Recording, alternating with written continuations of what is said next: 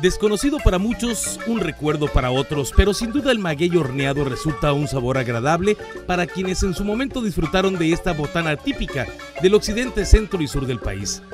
Conocido como las pencas de mezcal o de maguey horneado, es una tradición culinaria que pocas veces es vista en el norte del país y que su sabor agridulce embriaga a quienes lo prueban. Se trata de pencas de maguey y la piña cocidas en horno de piedra durante tres días y gracias al calor desprende un rico aroma a destilado dulce.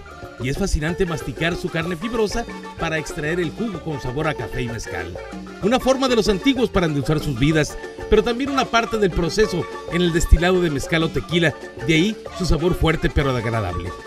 Era parte de las ofrendas que se ofrecían a los dioses y un postre en la actualidad, parte de una cultura que se pierde en el norte de la República. Imágenes y edición de Cristian Biorato. Reporta las noticias Víctor Rochín.